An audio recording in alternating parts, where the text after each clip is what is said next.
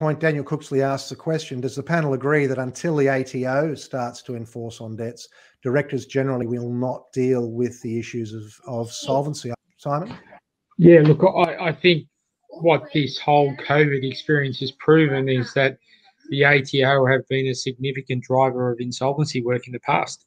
Um, you know, one thing we know that is consistent throughout the whole process is the ATO have not been very aggressive, if if, if at all, in terms of recovering their debts since um, since the bushfires in 2019. So, what we have seen is a complete drop in, in, in insolvency formula work because of that. So, there's no doubt that uh, and whatever that percentage is, is 20, 30, 40% of all insolvency work is driven by ATO behaviour. There's no doubt that the ATO have a significant impact on the level of, of formal appointments in insolvency. Can I, can I, uh, can I speak yeah. to Bill's comment there? Yeah. Because I think it ties into what, I think it ties into to Daniel's question as well.